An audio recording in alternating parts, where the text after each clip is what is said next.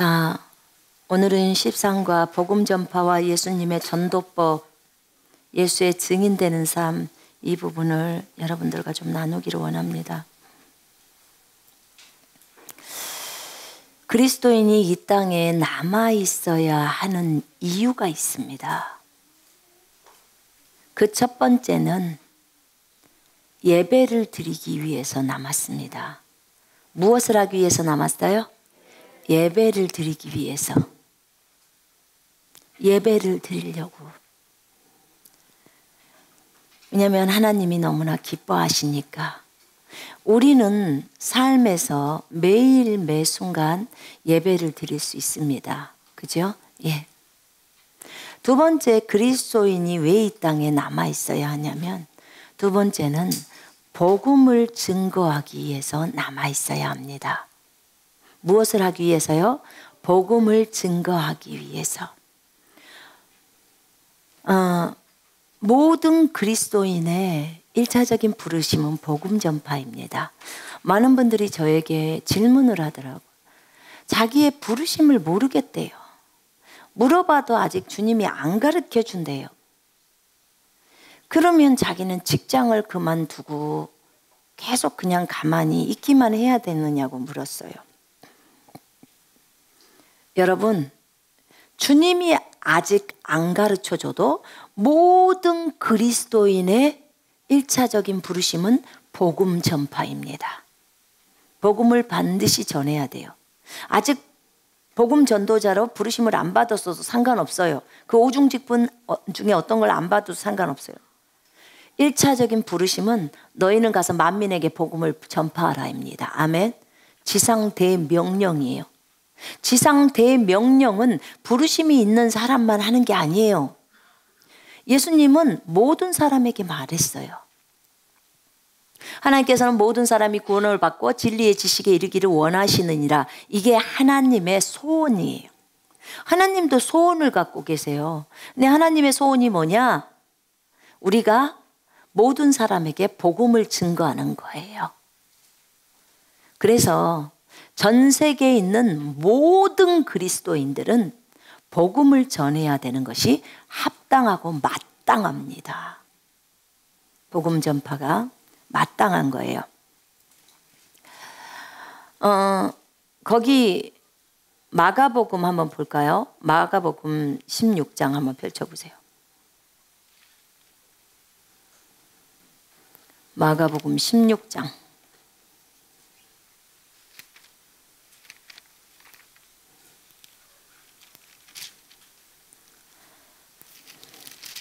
15절 읽겠습니다.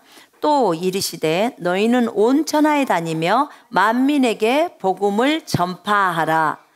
이거 자 너희는 온 천하에 다니며 만민에게 복음을 전파하라고 그랬어요. 그지요? 만민이라는 이 단어는요. 모든 사람이라는 거예요. 모든 사람. 모든 사람에게 복음을 전해야 합니다. 아, 난 저 사람 싫어서 복음 전하기 싫어요. 그러면 맞아요, 틀려요? 맞지 않습니다. 하나님이 기뻐하시는 것은 네가 어떤 생각을 갖고 있든지 그에게 가서 복음을 증거하라고 하는 것입니다. 네, 복음을 증거하라고 하는 거예요. 너무 기쁜 일이죠. 만민에게 복음을 전파하라.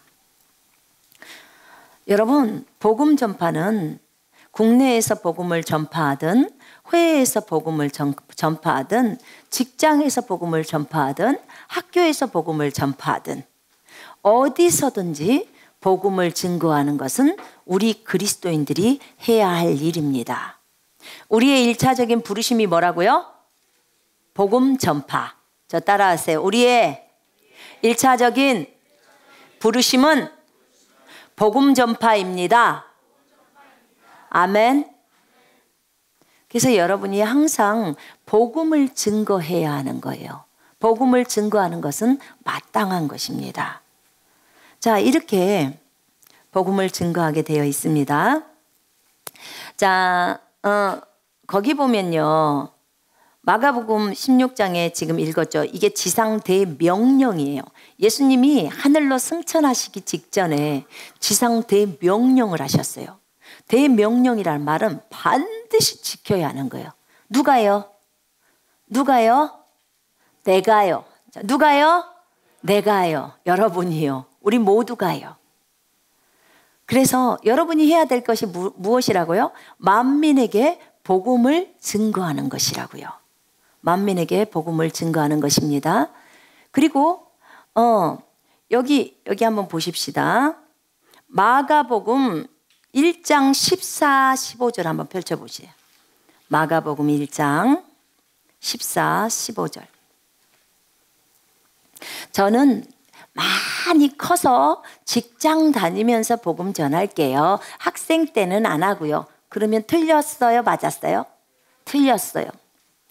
지금 여러분이 8살이든 10살이든 15살이든 20살이든 상관없이 여러분이 속해 있는 그곳에서 복음을 증거하는 겁니다. 왜냐하면 여러분의 친한 친구가 지옥을 향해서 가기 때문에 그래요. 자, 마가복음 1장 14, 15절 우리 같이 읽겠습니다.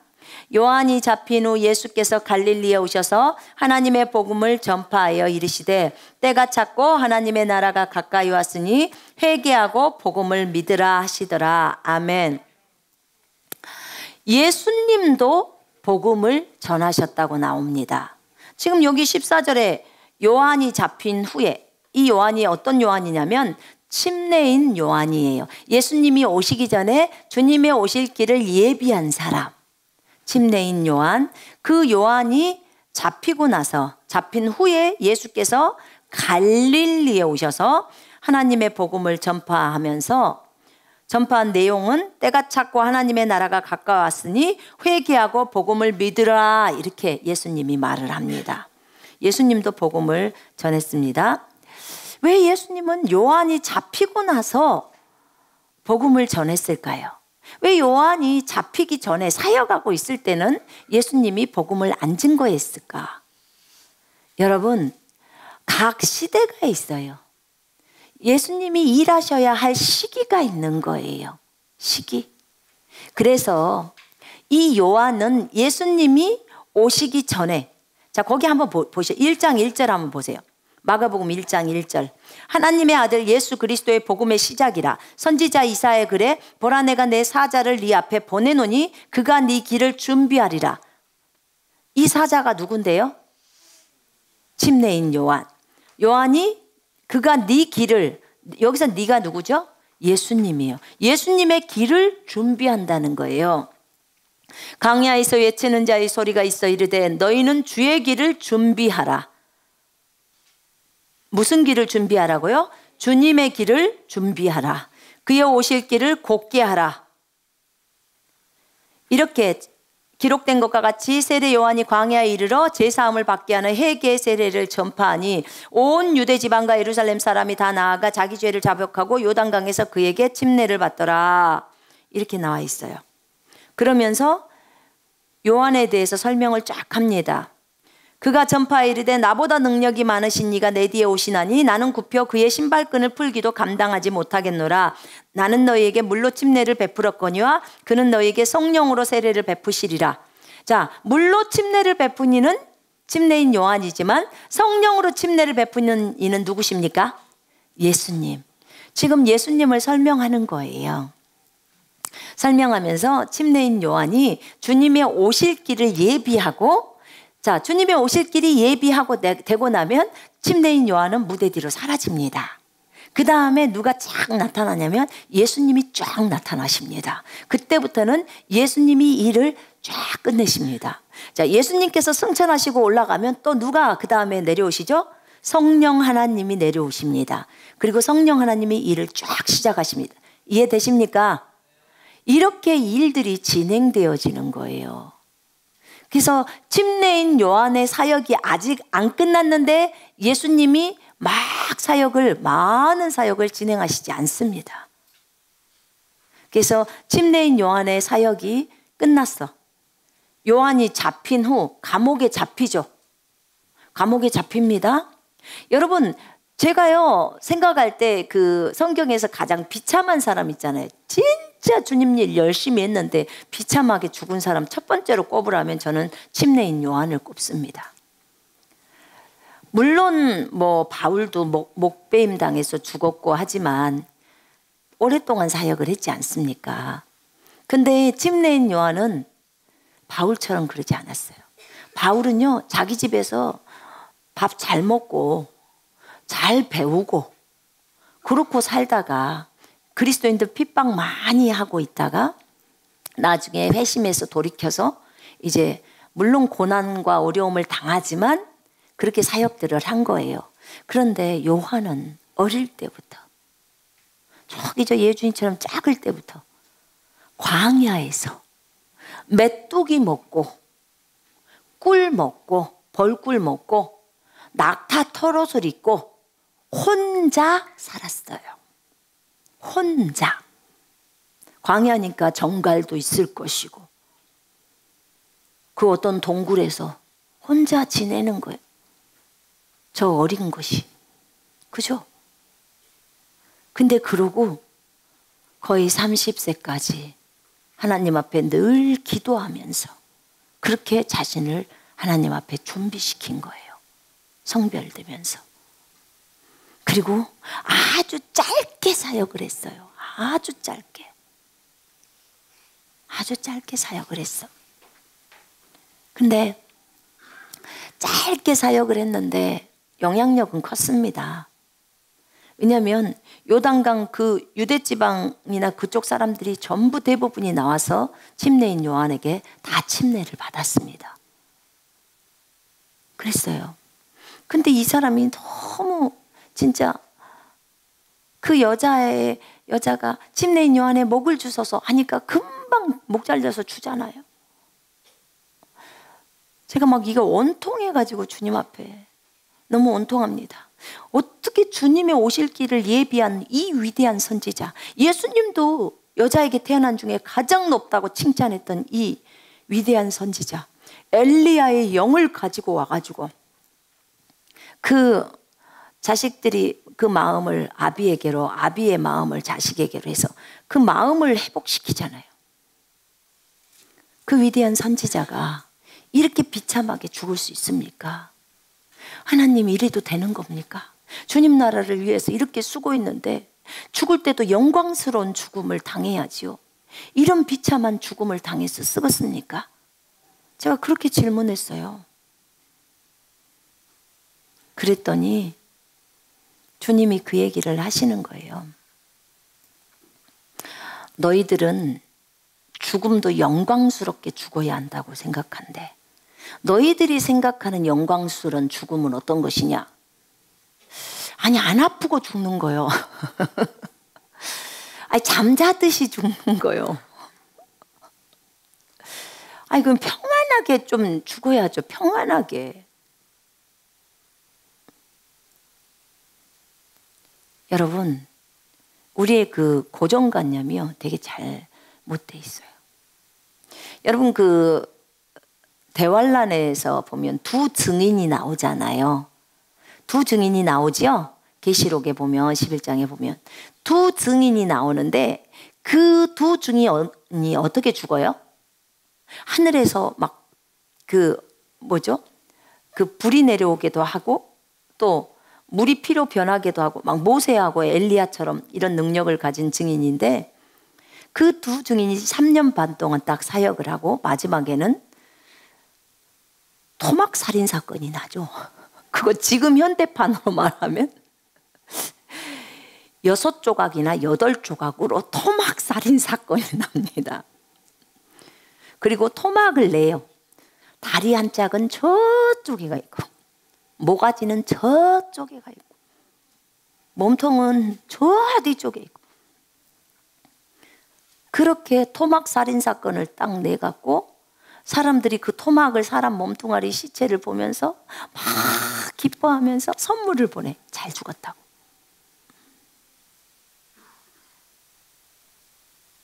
땅에 묻지도 못하게 해요.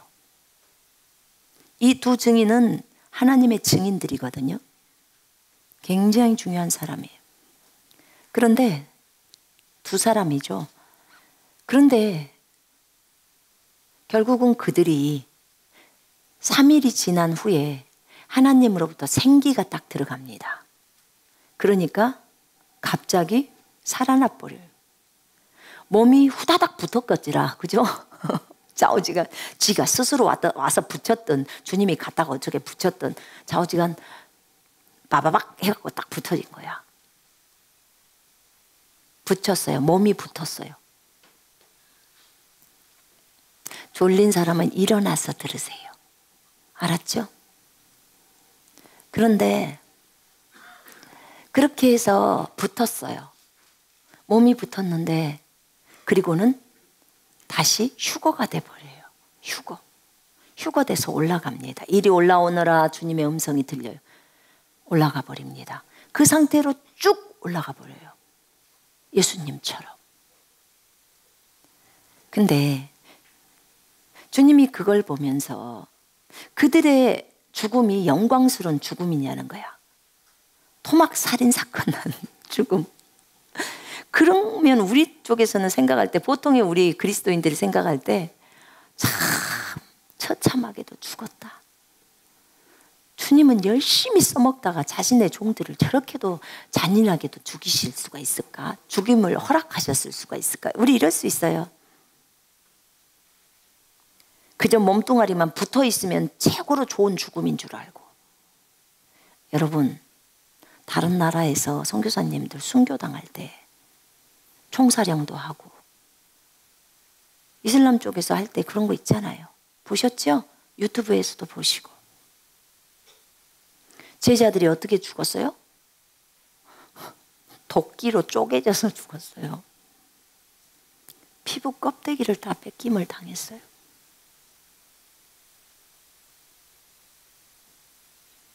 모가지 잘라지는 교수형이죠. 십자가도 거꾸로 매달렸어요. 창을 던져가지고 창에 찔려서도 죽었어요. 여러분 이런 죽음이 그냥 몸 몸이 완전 덜렁덜렁해서 죽는 죽음이란 말입니다. 이게 과연 비참한 죽음이라고 할 수 있을까요? 저는 참으로 영광스러운 죽음이라고 생각합니다. 지금은 제 생각이 바뀌었어요. 하나님은 저희에게 얘기할 때 어차피 몸은 이 속에 있는 속 사람이 중요한 거잖아요. 그죠? 이 속 사람이 진짜 우리가 속 사람이 진짜 사람이라고 생각한다면 겉 사람이 이 몸뚱아리가 이래 죽거나 토막 나서 죽거나 뭐 목이 잘라 죽거나 그런 것들이 그렇게 중요할까요? 실제로 왜냐면 목 잘라지면 그 사람 거기 없잖아요. 그 사람 이미 나갔잖아요. 그죠? 올라간 거예요. 진짜로 그거를 그렇게 내가 믿는다면 여러분 주님을 위해서 죽는 죽음이 가장 좋은 겁니다. 아멘. 그게 가장 고상한 거예요. 그냥 그리스도인이 편안하게 살다가 아무렇지도 않고 그냥 평안하게 살다가 그냥 조용히 죽는 거. 그것이 최고의 죽음일까요? 아니요. 우리가 원하는 것은 주님이 기뻐하시는 죽음입니다. 아멘. 우리가 그런 가치 기준을 가져야 되는 거예요. 죽음에 있어서도. 진짜 주님이 원하시는 죽음. 근데 이 침례인 요한은 주님이 원하시는 죽음을 가진 거예요. 우리가 생각할 때 주님이 왜 그렇게 그 여인의 손에서 죽게 했을까? 이제 일 다 끝났으니까. 일 끝났으니까 이래 죽나 저래 죽나 뭐 아무렇게나 죽으면 되잖아요. 주님만 부인하지 않고 사실은 이거 감옥에 갇혀가지고 순교당한 거거든요. 요한이. 감옥에 갇혔단 말입니다. 주님 때문에. 그래서 순교당한 거예요. 근데 그 죽음이 너무 아름다웠어요. 왜냐하면 주님 때문에 죽는 죽음은 다 아름답습니다. 여러분 요한이 잡히고 나서 예수님이 사역하셨다고 요한이 잡힌 후 예수께서 갈릴리에 오셔서 하나님의 복음을 전파하여 이르시되 이렇게 나옵니다. 예수 그리스도의 복음의 시작이라 마가복음 1장 1절에 전 인류를 샀기 때문에 전 인류는 누구 소속이에요? 예수님 소속입니다. 아멘. 예수님이 진정한 주인이십니다. 아멘. 예. 자, 예수님이 전하신 복음 내용은 회개하고 복음을 믿으라. 첫 번째 뭐예요? 회개하라. 첫 번째 뭐라고요? 회개하라. 그래서 여러분 복음을 증거하실 때 회개에 대한 메시지가 들어가야 합니다. 회개하십시오. 회개는 잘못된 길을 가다가 완전히 돌이켜서 반대 방향으로 오는 겁니다. 이게 회개입니다. 그래서 회개하십시오를 해야 합니다. 그 다음에 어, 복음을 믿으라. 복음이신 예수 그리스도를 어떻게 하라고요? 믿으라고. 자, 어, 복음을 들었어요. 학생들에게 묻겠습니다. 복음을 들었습니다. 근데 복음을 믿지는 않았어요. 하늘나라 갈 수 있어요, 없어요? 없어요. 복음을 들었어요. 10년 동안 들었어요. 어떤 분이 저한테 그러더라고. 남편 30년 동안 교회를 다녀요. 근데 예수님은 안 믿는데요. 그러면 하늘나라 갈 수 있어요, 없어요? 저한테 묻더라고. 못 가요. 교회에는 갔대요. 주일날도 다니고 수요일도 다니고. 그런데 예수님은 안 믿는데요. 이런 분들 보면 정말 희한하신 분이요. 예수님을 안 믿을 거면 무도로 교회를 가냐고요. 무도로. 어차피 지옥인데. 자, 복음을 믿어야 합니다. 아멘. 복음을 듣고 예수님에 대한 것을 듣고 예수 그리스도를 자신의 주인과 구주로 맞아들여야 합니다. 아멘. 여러분, 예수님은 여러분의 주인이십니까? 아멘. 예수님이 주인이라는 말은 잘 들어보세요. 예수님이 주인이시기 때문에 그 주인이신 예수님의 말씀에 여러분 전적으로 순종하죠. 아멘. 예수님이 주인이기 때문에 우리는 종이기 때문에 전적인 주인의 말에 순종합니다. 아멘. 자, 보세요. 그럼 다시 묻습니다. 예수님의 말씀을 여러분의 주인으로 인정하십니까? 아멘이십니까? 예수님의 말씀을 여러분의 주인으로 인정하느냐, 안 하느냐, 이거는 내가 그 말씀을 지키느냐, 안 지키느냐를 결정하는 거예요. 예수님이 나의 주인이란 말은 말씀이 나의 주인이란 말이에요. 말씀이 모든 일에 감사해라 이렇게 나와 있으면요. 그 주인의 말에 주인 주인이 그렇게 말했으니까 오직 감사만 해야 되는 거예요. 너 배추밭에 가라. 그러면 아 싫다니까 나 오늘 무밭 가서 무 뽑아야 돼요. 이렇게 하는 거예요. 그럼 그건 주인이 아닌 거예요. 그죠? 예, 네, 그런 것처럼 모든 일에 감사해라. 그러면 자기를 내리고 감사해야 돼요. 그래야 말씀의 주인 되심에 온전히 온전한 인정, 순복이 되는 거예요. 우리가 예수님한테는 순복해야지 예수님은 예수님이 나의 주인이심을 인정해야지. 하지만 여러분 예수님이 적어놓은 그 말씀에는 온전히 순복하고 인정하냐는 거야. 이 말씀의 주인 되심을 인정하냐는 거예요. 내가 너에게 뱀과 정가를 밟으며 원수의 모든 능력을 제압하는 권능을 주었으니 너희를 해할 자가 결코 없다. 해할 자가 결코 없다라고 말을 하는 그 말씀, 이 말씀에 온전한 순복을 하냐는 거야. 이 말씀에 이 말씀이 내 주인이에요. 마가복음 여기 누가복음 10장 19절이 내 주인이라고요. 그 주인이신 이 말씀에 주인 되심을 온전히 인정하냐 그 말이에요. 온전히 인정하는 사람은 그 말씀에서 나를 해할 수 없다가 아니까 어떤 질병도 나를 해할 수 없다는 것을 그냥 그대로 받아들이는 거예요. 그게 주인 되심을 온전히 받아들이는 거예요. 그럼 내가 그것을 안 했다 그러면 주인 되심을 그 말씀의 말씀이 나의 주인이라는 것을 받지 않는 거예요. 내가 다른 것을 한다는 것은. 이해되십니까? 우리는 예수님은 주인으로 인정한다고 하면서도 말씀은 주인으로 인정을 안 해요. 그래, 말씀은 내려야 돼. 말씀대로 행동해야 돼. 행동해야 돼. 그렇게만 하지. 근데 이 말씀이 하나님이에요. 하나님의 주인 되심을 인정하면서 어떤 것도 너를 해할 수 없다는 이 말씀, 말씀의 주인 되심은 인정을 안 하는 거예요. 말씀이 주인이면 네, 주, 주인님, 요것만대로만 나는 가겠습니다라고 해야 돼. 요것만이 진리입니다. 내 주인이 말하는 대로만 하는 거예요. 그 외의 것은 다 버려야죠. 주인이신데.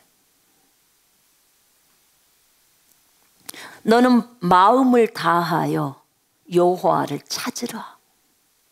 마음을 다하여 여호와를 찾으라. 마음을 다 한다는 것은요. 오직 생각이 한 개밖에 없어요. 마음이 한 가지밖에 없다는 거예요. 그 한 가지가 충만한 상태를 마음을 다 한다는 거예요. 그러면 너를 해할 자가 결코 없으리라. 그러면 너를 해할 자가 결코 없으리라는 그 그것만 그것만 딱 있는 거고 그것으로만 충만해야 된다는 거예요. 그때 마음을 다하여래요, 이게. 마음을 다하여. 생각을 다하여. 주 여호와를 찾으라. 여러분 그렇게 주님을 찾고 계십니까? 우리 주님 찾아야 합니다. 정말 찾아야 합니다. 마음을 다해서 찾아야 돼요. 그분, 그분은 여러분과 깊은 독대를 하기를 원하고 계셔요. 깊이 독대를 하기를 원하십니다. 알아가면, 주님을 알아가면 알아갈수록요, 진짜 은사를 원해지지가 않아요. 주님을 더 알아가면 더 알아갈수록 은사 방면에 솔직하게 관심이 없어집니다. 저는 그래요. 중간 과정에서는 은사에 관심이 있어요. 주님이 그 은사를 활용해서 사용해야 될 시기에는 은사를 알려줘야 되기 때문에 관심이 있어요. 근데 지금 제가 저를 보면서 솔직하게 그쪽 방면에 관심이 별로 없습니다. 왜 그러냐면 주님을 알아가면 알아갈수록 어디에다 관심이 쏟아지냐면 요거에가 관심이 쏟아지는 거예요. 이 성경. 이거에다만 나의 시선이 고정되는 거예요. 점점, 점점, 점점. 다른 그 어떤 것도 아니더라고요. 다 거쳐와요. 주님을 더 깊이 알아가게 하려고 거쳐옵니다. 그런데 지금은 관심사가 오직 하나의 말씀에 파고 들어가는 거예요. 그냥 그 한 말씀을 통째로 그냥 그거 외의 것들은 전혀 다 이렇게 다 치는 거예요. 그리고 관심이 주님과 동행이에요. 동행. 결국은 그렇게 간다면 내가 다 없어지는 결국이 나올 수밖에 없어지는 거죠. 여러분들이 다 없어지는 그런 날이 오게 되는 거예요. 그러면 능력의 원천이신 성령님이 몸 밖으로까지 나오게 되는 거죠. 그거는요, 뭐와 같은 거냐면, 욕심이 있고요. 은사와 능력을 사용해서 어떤 것을 하려고 해요. 은사와 능력 반드시 알아야 돼요, 여러분. 이것도 거쳐오는 과정이에요. 알아야 돼요. 나쁜 거 아니에요. 은사, 능력 다 주님으로부터 옵니다. 아멘. 그런데 제가 여러분들한테 늘 얘기했던 것은 단순함이었어요. 진리 앞에서 진짜 깨끗함이에요. 하나님을 향하는 진실함도 있어야 되겠고, 그 다음에 주님 앞에서의 거룩함이 있어야 된다고 했죠. 깨끗함. 그 안에 단순함이 들어가 있습니다. 무엇이 들어가 있다고요? 단순함. 그런데 이건 주님을 사랑해서 하는 거예요. 다른 거 없이. 자, 보세요. 주님을 사랑해서 단순하게 깨끗함 가운데서 주님을 향하는 그 진실함을 가지고 주님만을 향해서 가는 자와 욕심을 가지고 은사를 구하고 능력을 구하면서 가는 자와 나중에는요, 어디서 다 탈락이 되냐면 마지막 부분에서 요 은사와 능력을 추구하는 욕심을 가지고 추구하는 사람은요, 더 높은 단계로 못 갑니다. 못 올라가요. 왜 그러냐면은 나라는 존재가 나라는 그 육신적인 것이 남아 있으면 더 이상은 올려주질 않아요 하나님이. 그냥 그 위, 위에는 너무나 높은 것들이 있기 때문에. 여러분 순간 이동을 한번 말해 볼까요? 우리 모두가 순간 이동을 하고 싶어 해요. 빌립 집사도 순간 이동을 해. 집사가 순간 이동을 해. 집사가.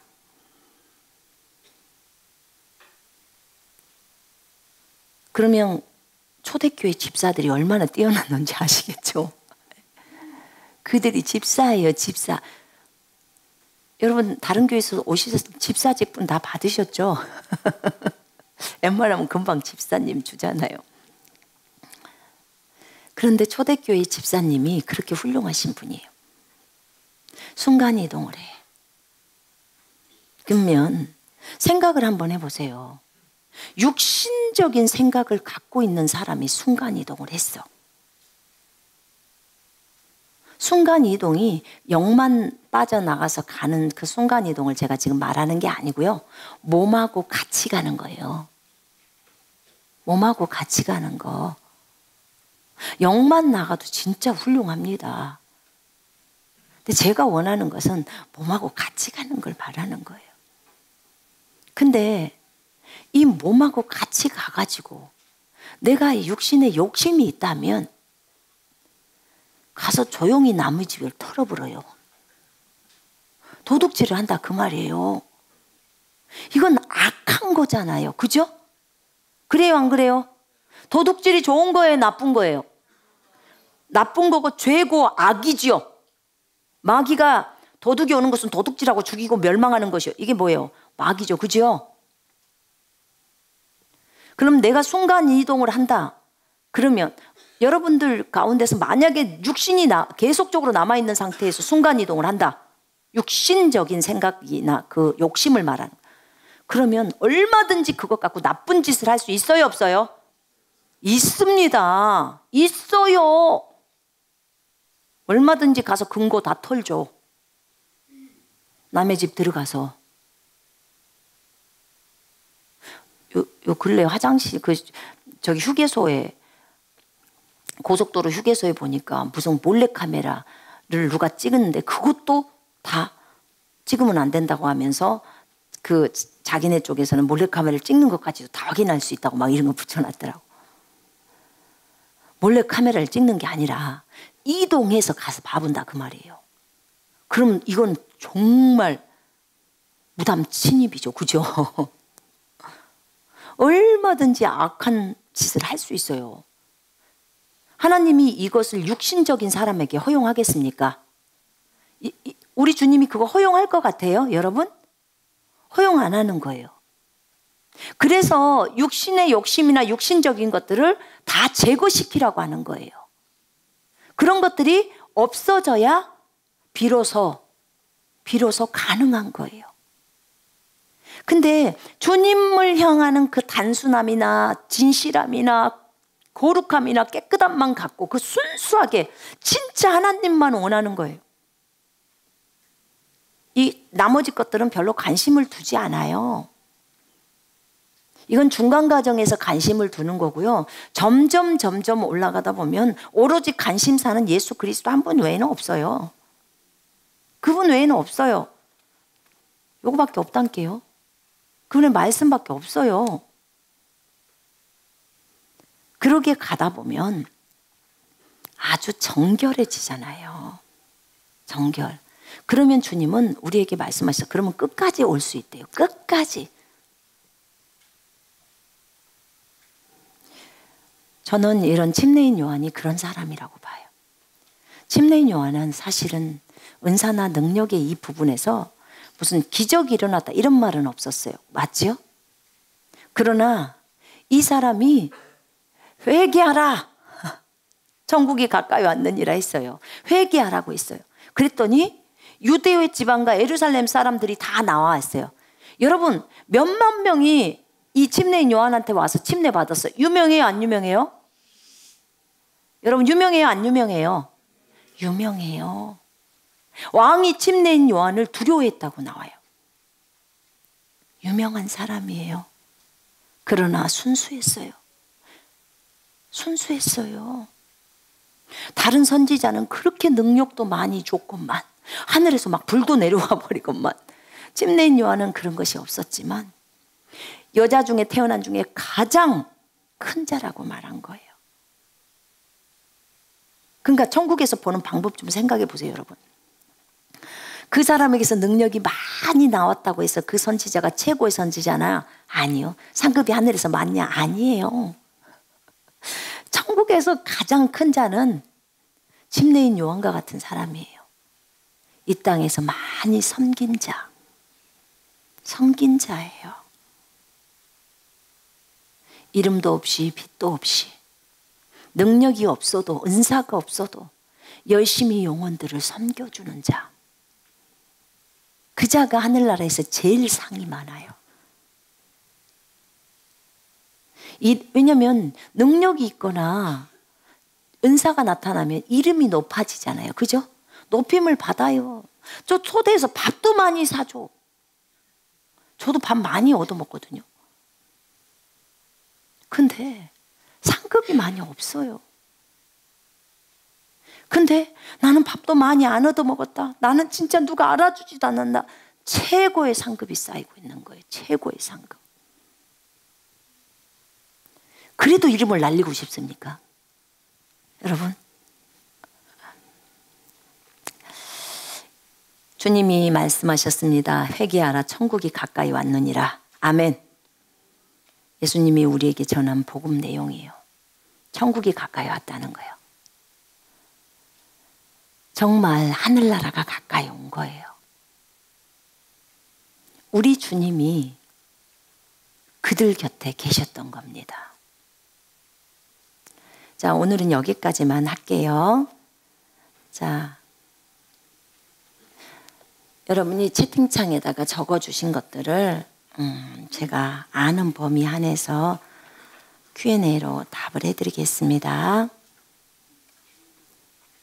동일한 사람이 여러 개를 보냈으면 제가 선별해서 한두 개만 하고 또 다른 사람한테 기회를 드리겠습니다. 주변에 예수를 믿는 사람들이 많으나 말씀 따로 행동 따로인 그들 대부분의 모습에 크게 실망했고 한때 예수에게 마음을 열고자 하였으나 삶에 갑자기 닥친 어려움으로 인해 예수와 나는 인연이 아니다라고 생각하는 사람에게 복음을 신고 싶습니다. 좋은 방법이 있을지요? 그러면 이렇게 말하십시오. 그분한테 정말 정말 죄송합니다. 정말 죄송합니다. 예수 믿는 우리들 때문에 너무나 많이 실망하셨지요. 우리 예수님은 우리에게 이렇게 가르치지 않았습니다. 가서 섬기라고 했고 도와주라고 했고 나눠주라고 했는데 우리가 그 예수님의 말을 안 듣고 우리가 그렇게 하지 않았습니다. 우리를 용서해 주십시오.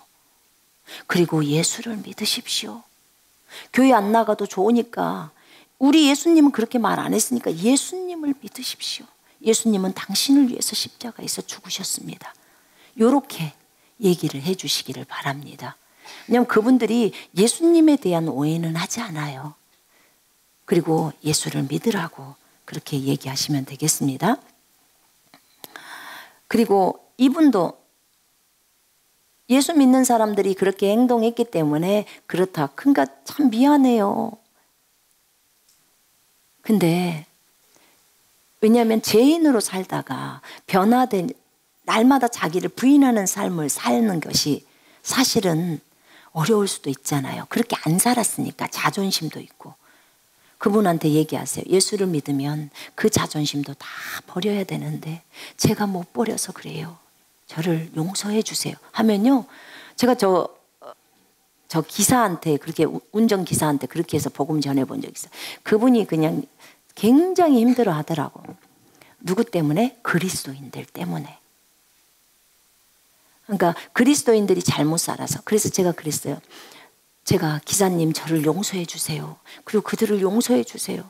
우리 예수님은 그렇게 안 가르쳤는데 우리가 그 예수님을 예수님의 말대로 안 사니까 이렇게 기사님이 예수를 믿고 싶어도 못 믿는 거예요. 우리들이 우리 자존심 못 내리고 그래서 그런 거예요. 우리 욕심 못 내려서 그런 거예요. 그랬더니 갑자기 이분이 아니에요, 손님 아니에요. 왜 그러십니까? 막 그러는 거예요.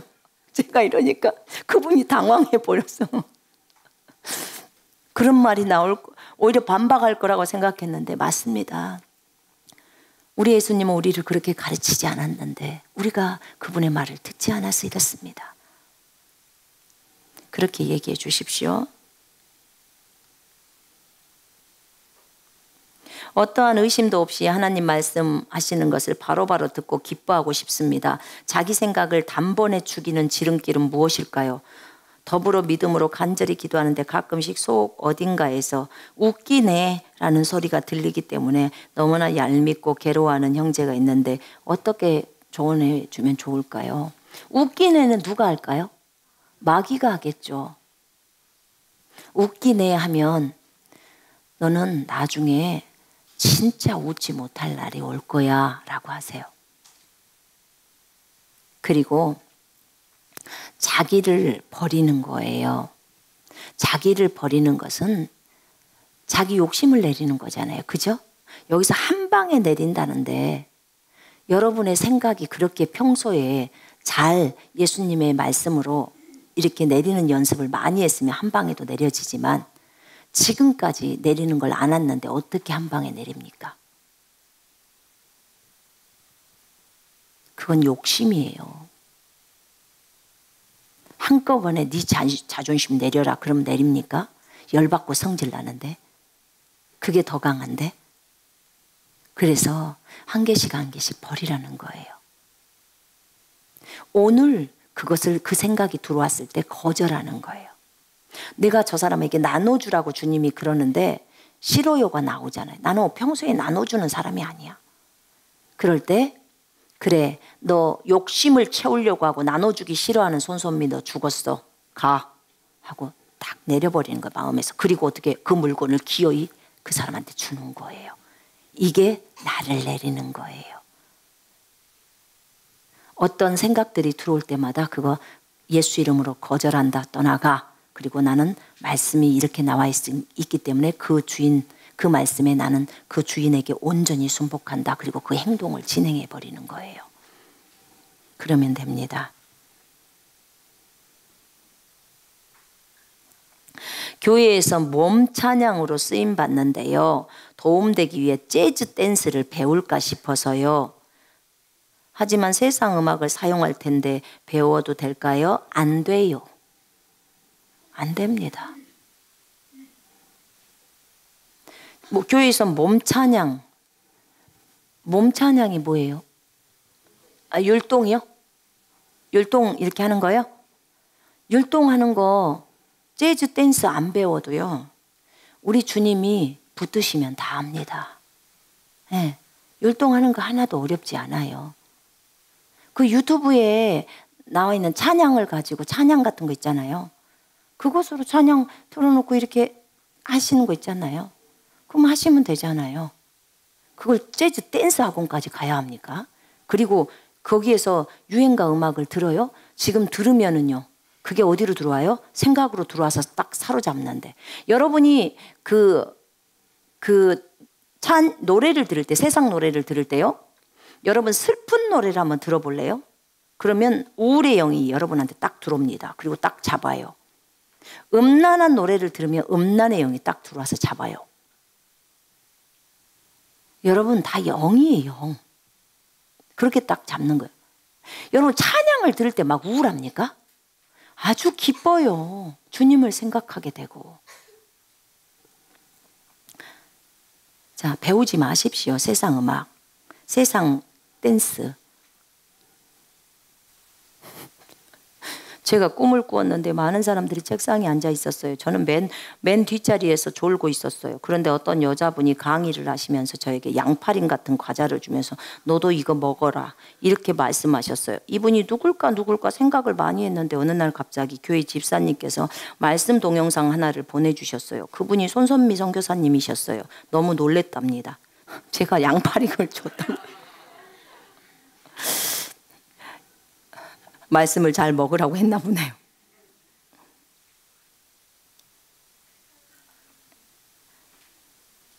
김진 전도사님이 많이 방황했을 때, 중국에서 학교 다닐 때 선교사님은 어떻게 하셨나요? 김진이가 많이 방황한 줄도 몰랐습니다.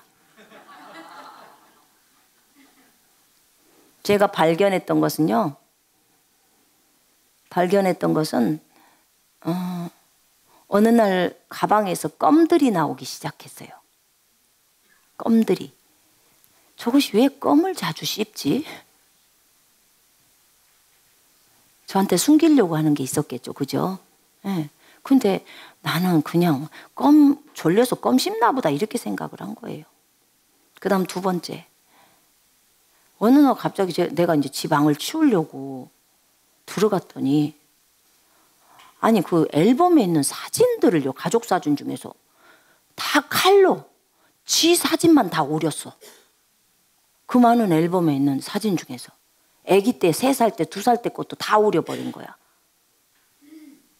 지 사진만 딱 오렸어요 몸 전체를 나머지는 이렇게 해놓고 그리고 그것을 이렇게 옆에 침대 있으면 옆에가 이렇게 뭐 협탁 같은 거 있잖아요 탁자 같은 거 거기에다 이렇게 이제 아침에 학교 가서 그런지 어쩐지.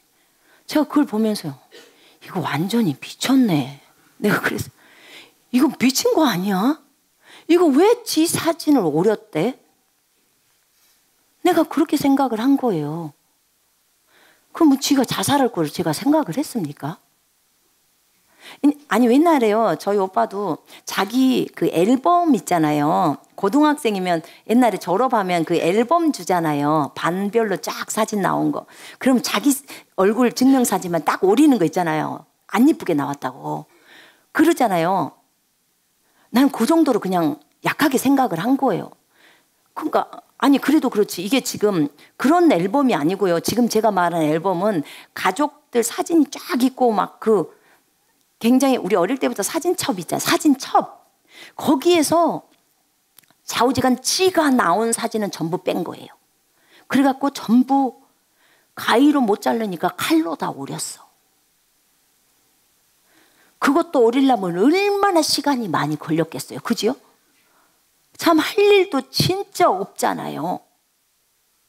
제가 생각이 이건 미친 거 아니야? 라고 생각을 하다가 나중에 순간적으로 이거 자기가 죽으려고 죽으려고 이거 준비하고 있는 거 아니야? 라는 생각이 들었어요. 굉장히 특이한 행동이잖아요. 이거 자체가. 그런 거예요. 근데 늘상 제가 말씀을 전해줬고, 같이 예배도 드렸고, 찬양도 했고, 저것이 또 집에 오면 엄청 잘하는 것처럼 가짜로 위장을 했던 거죠. 저는 몰랐어요. 그게 진짜인 줄 알았지. 내가 제가 타락을 하고 있었으면 제가 가만 놔뒀겠습니까? 당장 난리 나죠. 몰랐으니까 저것이 살아남아 있었죠. 안 그랬으면 뒤지게 맞았죠, 진짜로.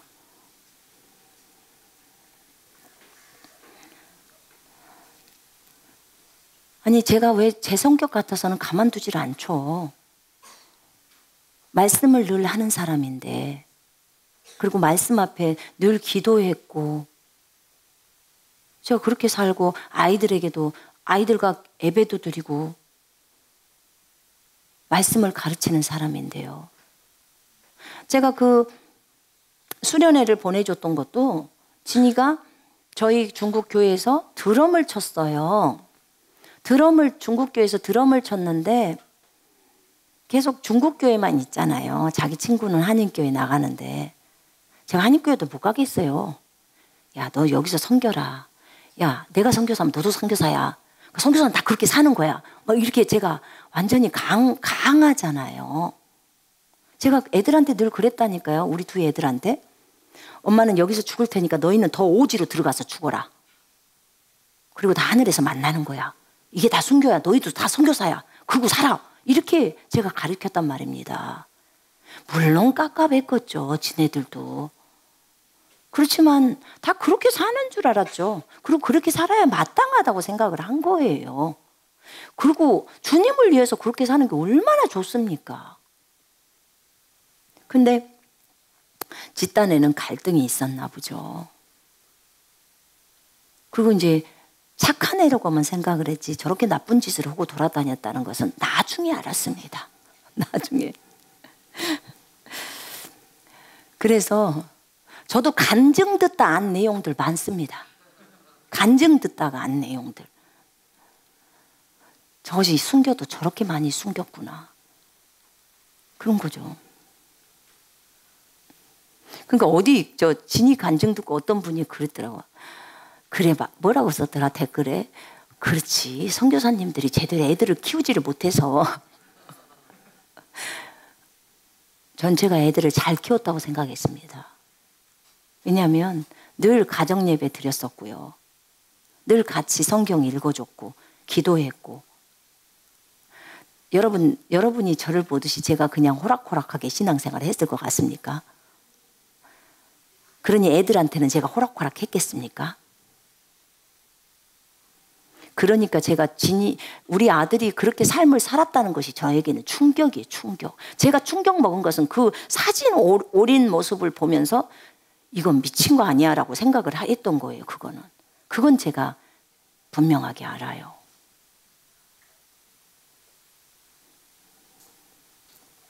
그리고 그 친구인 애들하고 그 어디 그 중국에 보면 꽈닌치아오나 뭐 이런 이런 데가 있었는데 그런 데 놀러 갔었다. 그래도 술집 갔다는 말은 안 했거든요, 저한테는. 기도할 때 불특정 다수 불신자를 구원해 달라고 기도하는데요. 너무 막연한가요? 대상자 이름을 콕 집어서 기도해야 하는가요? 주님의 뜻을 이 나라에서 이루시고 주님의 나라가 이 땅에서 확장되어지기를 기도합니다. 아멘입니다. 불특정 다수 괜찮습니다. 하나님께서는 모든 사람이 구원을 받고 진리의 지식에 이르기를 원한다고 하셨습니다. 하나님 강주의 시민들이 다 예수 믿게 해주시고 강주에 있는 그리스도인들이 동성애 축제를 다 반대할 수 있게 해달라고 구하셔야 합니다. 아멘.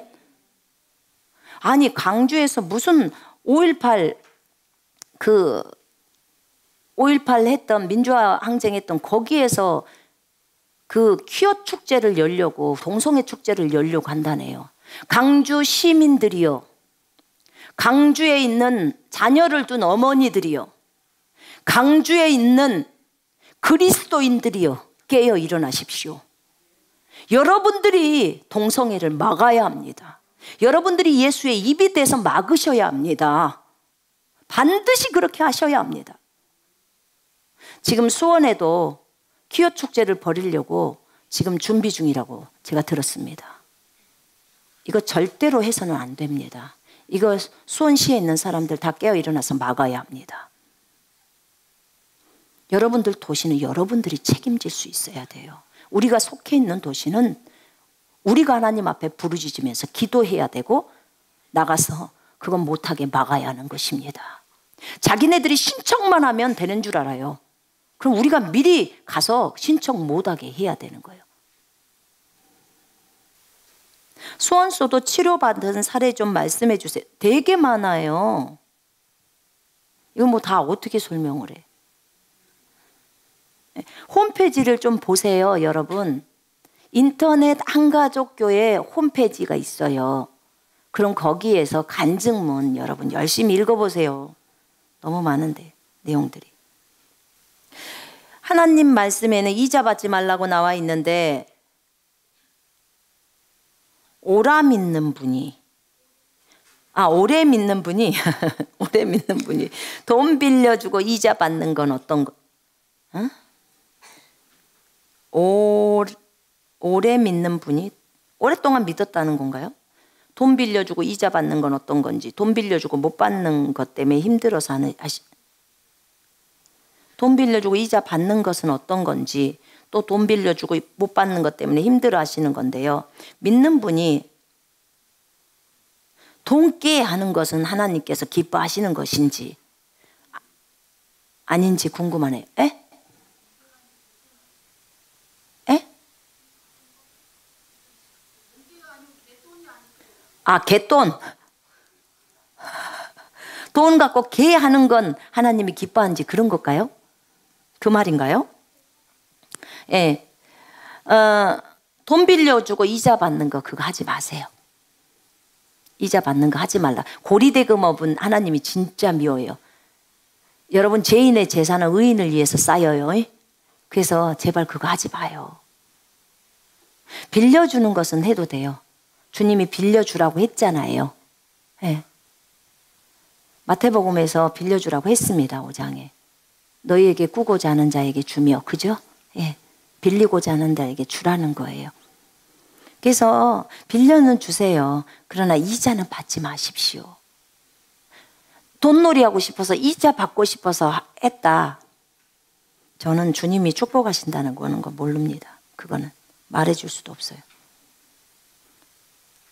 이건 돈을 빌, 빌려주고 이자 받으려고 빌려줬다가 돈을 떼먹은 사건. 결국은 이런 사건들이 일어나는 거예요. 여러분이 어디다 꼭 써야 될 돈이 있는데 저쪽에서는 급박하다고 해요. 뭐에 급박해요? 자기네 주식 투자해야 되니까 돈 좀 빌려주라. 절대 이런 것에다는 빌려주면 안 되는 거예요. 여러분 성경에서는 보증서라고 나와 있나요? 보증 서지 말라고 하는 거예요. 그래서 또 주고 싶으면 그냥 아예 줘요. 돈이 있으면 받으려고 생각하지 말고 내가 줄 때는야 그냥 줘버렸다고 생각하고 딱 줘버리는 거예요. 그러면 그쪽 사람이 돌려주면 받으면 되는 것이고 안 돌려줘도 내가 그냥 기쁘게 줘버렸다면 더 이상 그걸로 실족하질 않아요. 근데 내가 이 돈 꼭 받아야지, 꼭 받아야지 이러면 나중에 그 사람이 돈을 못 줄 때는 진짜 실족하게 됩니다. 주님이 고치길 원하시지 않는 질병도 있나요? 지금 바울의 육체의 가시 부분에 있어서는 주님이 내버려 두시잖아요. 그죠? 바울에게 육체에 가시가 있었어요. 왜냐하면 너무 너무 어그 계시가 높아서 너무 계시가 높아가지고 육체에 가시를 줬어요. 뭐하지 못하도록 교만하지 못하도록 주님께 세 번을 구했어요. 바울이 낫게 해주세요. 이거 없애주세요. 내 은혜가 너에게 좋게 그냥 그거 가지고 있어. 네가 약할 때 내가 더욱 강하게 나갈 거야. 하십니다. 그러니까 바울이 기뻐합니다. 내가 약할 때 주님이 강하시다. 약할 때 강함 대신에 그 찬송 있죠? 나의 보배가 되신 주. 그래서 이렇게 표현합니다. 그래서 그러는 부분들은 있습니다. 하루 종일 말씀과 설교 듣기 하고 찬양도 듣습니다. 주님과 동행합니다. 새벽이 너무나 힘듭니다. 새벽에 기도하면 성령 충만하거든요. 꾸준히 해야 하는데 새벽이 저한테는 너무나 힘들어요. 그래도 하세요. 그래도 하셔야 합니다. 그래도 일어나야 돼요. 오늘 실패했어요. 괜찮아요. 내일 다시 하세요. 또 하는 거예요. 언제, 어느 때까지? 습관이 될 때까지.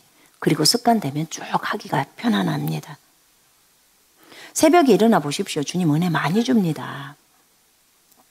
대환란이 재림 후에 온다는 목사님들이 많잖아요.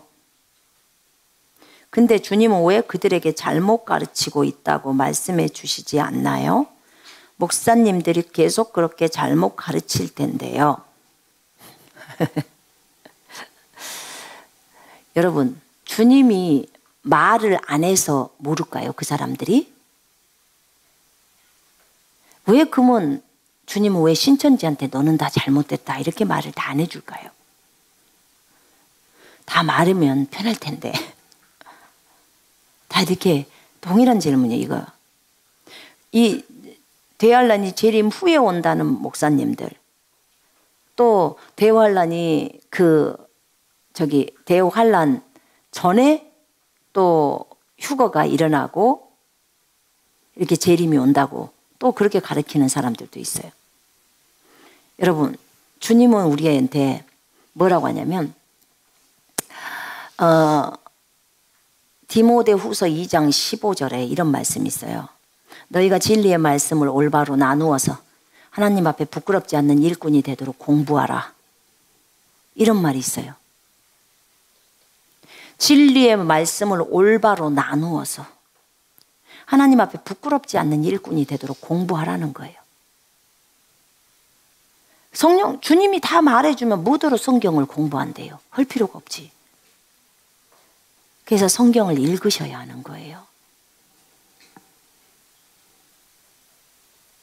하나님 말씀대로 읽으시면 알게 됩니다. 하나님을 만나길 원합니다. 기도해 주세요. 본인이 기도하십시오. 하나님을 만나기를 원하는 사람은 본인이 기도하셔야 돼요. 본인이. 본인이 간절히 하나님 앞에 구하셔야 합니다. 창세기 1장의 첫, 첫째 날과 첫째 첫날 빛과 어둠을 만드셔서 낮과 저녁이 생겼는데 셋째 날 해와 달을 만드시는데요. 해와 달이 없이 빛과 어둠이 먼저 있었다는 것은 이해가 안 됩니다. 예, 우리 머리로 이해할 수 없습니다. 첫째 날 빛은 요즘 해가 떠서 빛이 있는 것과 달랐던 걸까요? 그냥 빛 자체죠. 주님 오셔도 그냥 아니 깜깜한데도 주님이 딱 오시면 빛 자체로 딱 오잖아요. 그거랑 같은 거죠. 천국에서 요한이 크다고 말씀하셨는데 천국에서 요한이 큰 자가 아니라 극히 작은 자라도 그보다 크다고 예수님이 말씀하셨어요. 맞습니다. 요한은요, 진짜 큰 자예요. 여러분. 그러니까, 어, 천국에서는 요한보다도 우리가 어떤 작은 일을 해도 요한보다 크다 지금 그 얘기예요. 그러니까 구약의 선지자들 중에 구약의 선지자들 중에 가장 큰 자가 누구예요? 누구죠?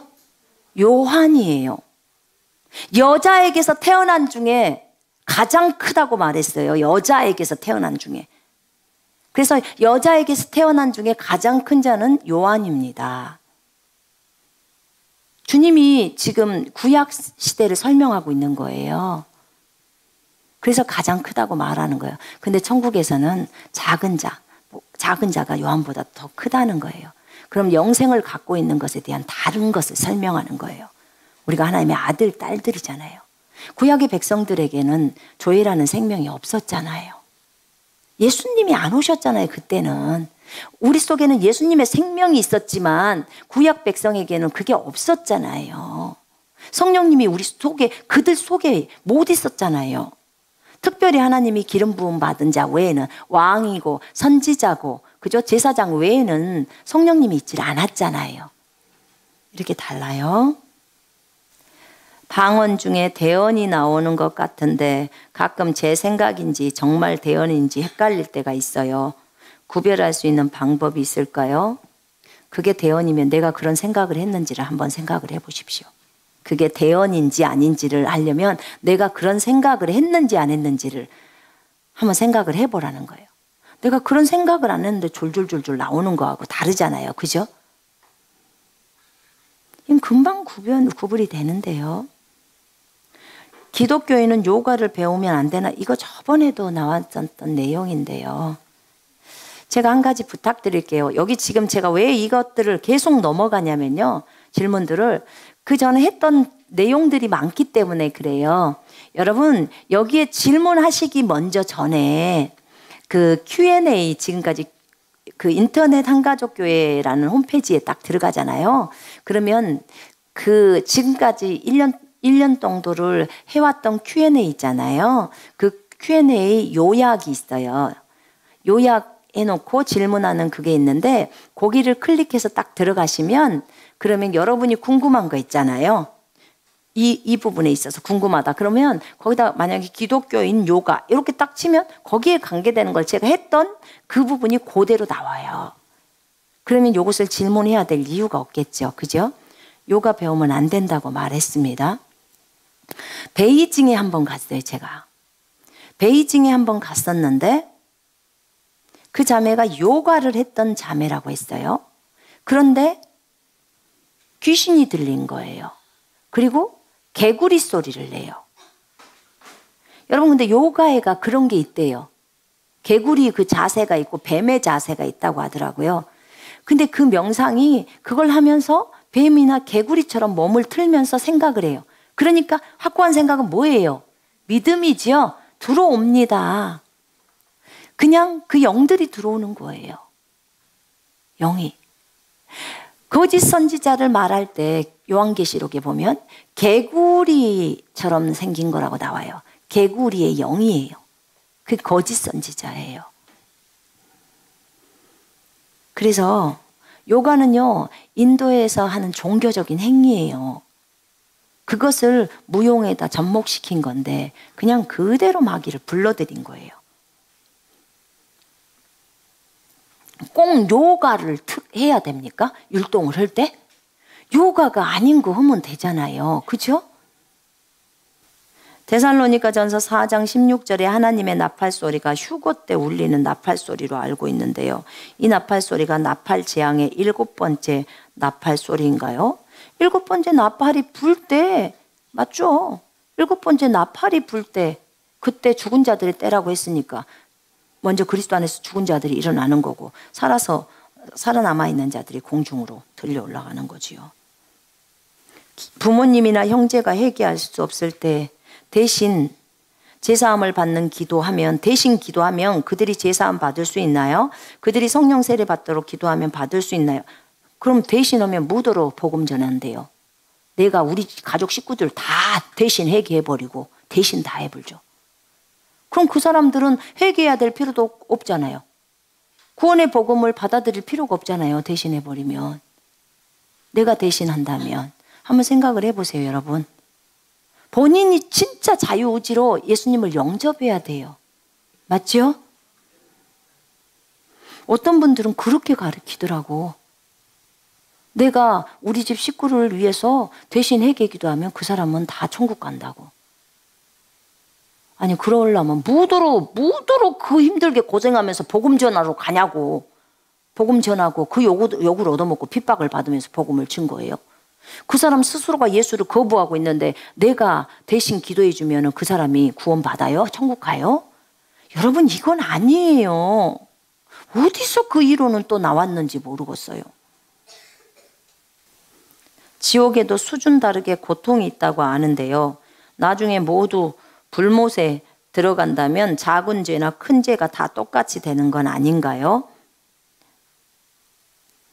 주님은 정직하세요. 불못일지라도 하나님은 정말 더 깊은 제약이 죄를 더 많이 지은 사람하고 죄를 좀 덜 지은 사람하고는 다르죠.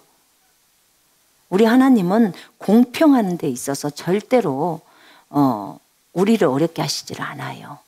그래서 하나님은 공의로우신 분이라는 것을 여러분이 딱 알고 있다면 하나님 하시는 모든 일이 옳다는 것을 알고 있다면 어, 어렵지가 않겠죠? 소리 내지 않고 방언 기도하는 건 괜찮나요? 방언은 입으로 하는 거예요. 방언은 입으로 하는데 소리 내지 않고도 할 수는 있어요. 근데 방언을 할 때 소리 내고 하는 것도 다 소리 내고 하잖아요. 소리 안 내고 하십니까, 여러분? 대부분 방언할 때 다 소리 내고 하죠. 조용조용히 하잖아요. 집에서 집에서 뭐 설거지 할 때도 방언 얼마든지 하지. 누가 꼭 큰 소리로 하지 않아도 돼요. 그러나 작은 소리, 어디 선포가 뭐예요? 읊조리는 거잖아요. 작은 소리로 읊조리는 거. 가인 울림을 예수 이름으로 예수 이름 대적 기도로 물리칩니다만 아주 나가지 않고 있음을 느낍니다. 수면 장애가 가인 울림과 함께 울림과 함께 많이 시달린 지 오랜 세월입니다. 정말 가인 울림으로부터 자유로워질 질 말씀 알려주세요. 제가 말했잖아요. 누가복음 10장 19절을 붙드세요. 누가복음 10장 19절을 붙드세요. 내가 너희에게 뱀과 정가를 밟으며 원수의 모든 능력을 제압하는 권능을 주었으니 너희를 해할 자가 결코 없다. 절대로 마귀는 여러분을 누를 수가 없습니다. 그 말씀을 믿어야 해요. 진짜 그 말씀이 내 주인이라면 이 말씀을 주, 이 말씀의 주인 되심을 그대로 인정하고 그것만 딱 받아들이라는 거예요. 마귀가 감히 어떻게 눌러요?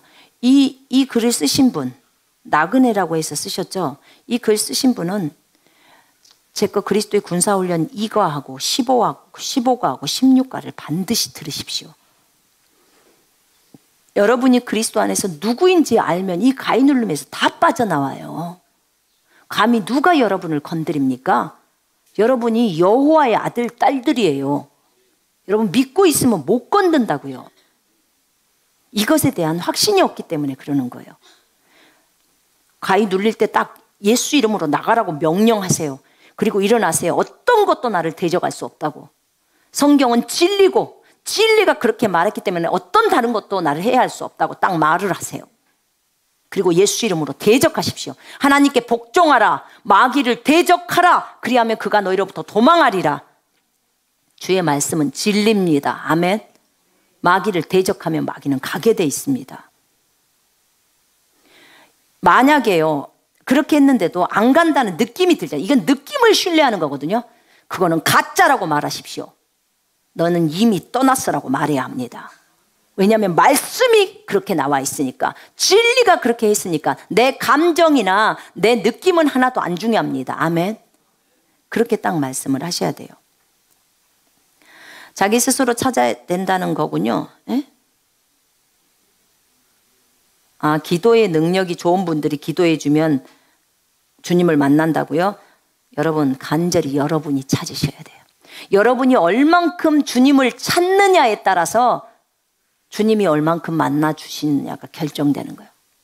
분명히 주님은 너희가 나를 간절히 찾으면 나를 만나리니 누구가 너를 위해서 기도해 주면 네가 나를 만나리니 이렇게 말하지 않았어요, 성경은. 너희가 간절히 나를 찾으면 나를 만나리니 그 간절히가 새벽에라는 거라니까요. 그리고 애써서 찾는 거라니까요. 그리고 마음을 다해서 찾는 거예요. 주님을 찾는 거, 그것만 신경 쓰는 거예요. 다른 거 아무것도 없고. 반지 금반지 잊어버렸을 때 그 집을 다 뒤져갖고 찾는 것처럼 그렇게 찾는 거예요. 얼마나 샅샅이 찾듯이 내 마음 안에서 온전히 열정을 다해서 주님께 집중되면서 찾는 거예요. 그걸 주님을 찾는다고 표현하는 거예요. 여러분 그렇게 찾으십시오. 명령형 기도를 해야 될 시기가 있고 부르짖는 기도를 해야 될 시기가 있어요. 주님을 찾을 때는 여러분 명령형 기도로 찾는 게 아니에요. 간절히 부르짖는 기도를 하면서 찾아야 되는 거예요. 시기가. 필요해요. 신천지 사람들이 18만이라고 들었는데 매년마다 이렇게 증가하는 이유가 뭐라고 생각하십니까? 신천지에서는 뭐라고 가르치죠? 이 숫자에 안 들면 어디 가요? 다 지옥 가요. 이만희가 보혜사 성령이라고 하잖아요. 지옥 간다고 하기 때문에 이러는 거예요. 무서워서 못 떠나는 거예요. 왜냐하면 그 사람들, 다른 사람들 전도 안 하면 지옥 가거든요. 그러니까 하는 거예요. 자기 천국 가려고. 그런다고 이렇게 이만인의 쪽으로 데리고 가면 천국 갑니까? 여러분? 진짜. 자, 오늘은 여기까지만 하겠습니다.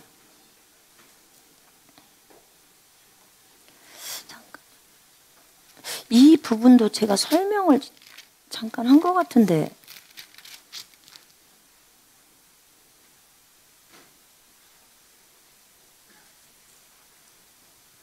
거기 여기 하나만 설명할게요. 이거 이거 베드로전서 3장 19절을 풀어 주세요. 이거 여러 번 설명했거든요. 옥에 있는 영들은 누굽니까? 여기 옥에 있는 영들은요. 20절에 설명돼 있어요. 그들은 옥에 있는 영들이 누구냐면 그들은 전에 노아의 날 방주를 준비할 동안에 하나님이 오래 참고 기다리실 때 복종하지 아니하던 자들. 요 사람들이에요. 여기 성경이 적어져 있잖아요. 그 20절 그 밑에만 읽어보면 나오겠네. 한 절만 밑으로 내려가네. 자, 기도하겠습니다.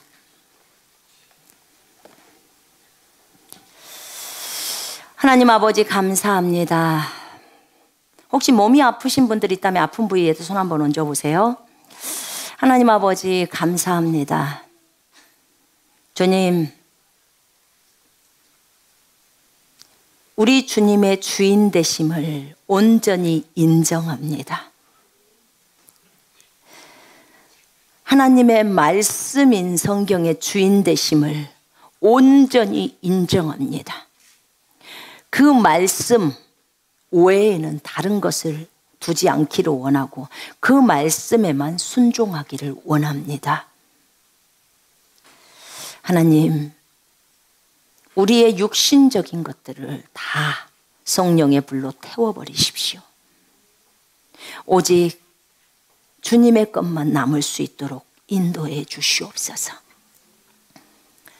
사랑하는 주님, 내가 이 방법, 저 방법을 쓰는 게 아니라 성경이 그렇다면 그냥 그대로 믿어버려야 합니다. 그리고 성경이 말하는 방법을 따라가야 합니다. 굳이 그렇지 않는 방법을 찾아야 될 이유도 없고 다른 방법을 써야 될 그런 이유도 없습니다. 하나님, 우리가 성경에 따라 삶을 살 수 있도록 우리를 인도해 주시옵소서. 하나님, 주님을 간절히 찾는 자가 될 수 있도록 우리 모두를 인도해 주시옵소서. 온 마음을 다하여 새벽에 애써서 주님을 찾기를 원합니다. 주님, 형제 자매님들 각 한 사람 한 사람 깨워주시고 주님과 깊이 교제하게 하시며 하나님의 말씀이 밤새 내내 이 형제 자매들을 사로잡아 주시고 일어나면서 찬양이 입에서 나오게 하시고 말씀이 또 입에서 나올 수 있도록 하나님 인도해 주시옵소서. 하나님 기도할 때 집중해서 기도하게 하시고 졸리지 않도록 도와주시며 하나님이여 정말 우리가 성경에 고정할 수 있도록 하나님 인도해 주시옵소서. 주님, 정말 말씀에 집중하면서 갈 때 우리가 영적으로 더 많이 자라갈 수 있습니다. 하나님 우리가 영적으로 성장하기를 원하오니 아버지 이끌어 주시옵소서. 이 시간에 형제 자매들의 필요를 위해서 기도합니다. 각 가정의 모든 필요가 예수 이름으로 채워질 수 있도록 주님 도와주시옵소서. 오늘도 하나님 나라를 위해서 물질을 심은 모든 형제 자매들 축복해 주시고 하나님 믿음의 사람들로 잘 세워 주시며 하나님 저들의 기도에 응답해 주시옵소서. 이 시간에 병드는 형제자매들을 위해서 기도합니다. 믿음으로 손을 얹은 형제자매들 치유시켜 주시옵소서. 나사렛 예수 그리스도의 이름으로 명령한다. 모든 종양은 몸에서 다 없어질지어다. 모든 암덩어리들은 없어질지어다. 암세포 없어질지어다. 염증 다 사라질지어다. 암의 영들 다 없어질지어다. 죽음의 영들 다 없어질지어다. 모든 더러움의 영들 다 없어질지어다. 주 예수 그리스도의 이름으로 명령한다. 몸 안에 있는 모든 부위는 건강해질지어다. 새로워질지어다. 오장육부는 강건할지어다. 간, 위, 폐, 심장, 신장, 췌장, 대장, 소장 예수 이름으로 건강할지어다. 직장도 강건할지어다. 갑상선 건강할지어다. 성대 예수 이름으로 튼튼해질지어다. 주님 감사합니다. 믿음으로 구하는 사람들의 기도에 주님 응답해 주시옵소서. 하나님 찬양합니다. 주님의 놀라우신 이름을 찬양합니다. 머리끝부터 발끝까지 건강해질지어다. 허리는 예수 이름으로 강건해질지어다. 뼈는 주 예수 이름으로 건강해질지어다. 디스크도 예수 이름으로 건강해질지어다. 고관절도 예수 이름으로 튼튼해질지어다. 골반뼈도 예수 이름으로 튼튼해질지어다. 허리야 예수 이름으로 명령한다. 모든 통증은 사라질지어다. 정상으로 돌아올지어다. 척추가 곧아지게 하시고 목뼈 예수 이름으로 완전히 회복되게 하여 주옵소서. 목 디스크 예수 이름으로 없어질지어다. 어깨뼈 예수 이름으로 정상으로 돌아올지어다. 하나님 팔을 번쩍 들을 수 있도록 인도해 주옵소서. 인대 근육 조직 예수 이름으로 강건해질지어다. 끊어졌던 인대 예수 이름으로 다 붙어질지어다. 신경뼈 예수 이름으로 다 붙을지어다. 주 예수 그리스도의 이름으로 하나님 깨끗게 하여 주시옵소서. 머리카락은 풍성하게 자라져 나올지어다. 모공도 튼튼해질지어다. 머리카락도 튼튼해질지어다. 빠진 머리카락보다 새로 자라나온 머리카락이 더 많아질지어다. 육신의 생각들을 다 내립니다. 정결하게 해주시옵소서. 하나님 생각이 다 정리되게 하시고 말씀대로만 생각하게 해주시옵소서. 주 예수 그리스도 이름으로 관절염은 다 없어질지어다. 관절은 튼튼해질지어다. 연골도 튼튼해질지어다. 무좀 다 없어질지어다. 변비 없어질지어다. 장은 튼튼해질지어다. 배 아픈 증상 없어질지어다. 대장도 튼튼해질지어다. 용정은 다 없어질지어다. 림프절 정상으로 돌아올지어다. 무록도 다 없어질지어다. 자궁은 튼튼해질지어다. 유방도 튼튼해질지어다. 주 예수 그리스도의 이름으로 명령했다. 하나님 감사합니다. 식도가 확대되게 하시고 이산화탄소가 정확하게 빠져나오게 하시며 산소가 많이 공급되어질 수 있도록 주님 인도해 주옵소서. 혈소판 수치 정상으로 올지어다. 당뇨 수치도 정상으로 올지어다. 고혈압도 없어질지어다. 혈압이 정상 수치가 될지어다. 시력 정상으로 돌아올지어다. 청력 정상으로 돌아올지어다. 이명 없어질지어다. 고는 예수 이름으로 뚫릴지어다. 비염, 축농증 다 없어질지어다. 주님 믿는 자에게 그대로 해 주십시오. 입안에 있는 모든 염증 다 사라질지어다. 이빨 깨끗이 치유될지어다. 없는 이빨 새로 날지어다. 잇몸과 이빨 안에 있는 치주염 다 없어질지어다. 하나님 감사합니다. 아버지 정말 하나님 아버지 모든 마비 증상 때문에 어려움 당하고 있는 사람들이 있습니다. 나사렛 예수 그리스도 이름으로 명령한다. 중풍은 없어질지어다. 마비 증상 없어질지어다. 혈액순환은 잘 될지어다. 머리끝부터 발끝까지, 말초 신경까지 혈액순환이 잘 될지어다. 뇌는 정상으로 돌아올지어다. 뇌는 예수 이름으로 정상으로 돌아올지어다. 내 경색 없어질지어다. 막혀있던 데는 뚫려질지어다. 주 예수 그리스도의 이름으로 완전히 깨끗함을 받을지어다. 손해증, 뇌가 작은 거 예수 이름으로 정상 크기가 될지어다. 정상적으로 작동될지어다. 뇌세포도 정상적으로 작동될지어다. 정상으로 많아질지어다. 주님 감사합니다. 임신해야 될 사람들에게 아기를 주시기를 원합니다. 생육하고 번성하는 것은 하나님의 뜻입니다. 주님 인도해 주시옵소서. 오 주님 감사를 드립니다. 기억력, 집중력 회복시켜 주시옵소서. 암기력도 주님 회복시켜 주시옵소서. 사람의 마음을 알 수 있는 통찰력과 하나님 투시력 주시기를 원합니다. 그 사람의 마음을 읽어낼 수 있도록 하나님 인도해 주시옵소서. 하나님 졸, 전혀 졸리지 않는 상태에서 하나님 트랜스가 보이지 않아도 그 사람의 마음을 다 읽어낼 수 있도록 주님 인도해 주시옵소서. 아버지, 영적으로 성장해서 시험 들지 않게 하옵소서. 주님 감사합니다.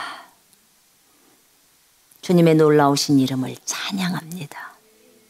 인지 능력도 회복시켜 주시옵소서. 피부는 예수 이름으로 건강해질지어다. 주님을 찬양합니다. 감기도 걸리지 않게 해주시옵소서. 머리끝부터 발끝까지 강건해질지어다. 면역성이 생기게 하시고 면역 체계가 정상으로 회복되게 해 주옵소서. 적혈구와 백혈구가 정확한 수치가 있게 해 주시옵소서. 백혈병 다 없애 주시옵소서. 주여 감사 찬양을 드립니다. 머리의 통증은 사라질지어다. 주님의 놀라우신 이름을 찬양합니다. 날마다 기쁨의 영으로 충만하게 해주시고 모든 우울증에서 해방되게 하여 주옵소서. 정신 분열에서 해방되게 하여 주시옵소서. 주님 찬양합니다. 공황장애에서 해방되게 하옵소서. 부정맥은 예수 이름으로 없어질지어다. 하지 정맥류 없어질지어다. 주님, 중독 다 없애주시옵소서. 주님을 찬양합니다. 주 예수 그리스도 이름으로 기도합니다. 아멘. 주님의 놀라우신 이름을 찬양합니다. 네, 우리 주기도문하고 마치겠습니다. 하늘에 계신 우리 아버지여, 이름이 거룩히 여김을 받으시오며, 나라의 마옵시며, 뜻이 하늘에서 이루어진 것 같이 땅에서도 이루어지리라. 오늘날 우리에게 일용할 양식을 주옵시고 우리가 우리에게 죄 지은 자를 사하여 준것 같이 우리의 죄를 사하여 주옵시고 우리를 시험에 들게 하지 마옵시며 다만 악에서 구하옵소서. 나라와 권세와 영광이 아버지께 영원히 싸움나이다. 아멘. 영광을 하나님께 올려드립니다. 전 세계에 있는 모든 분들을 주의 이름으로 축복합니다. 여기서 Q&A는 마치겠습니다.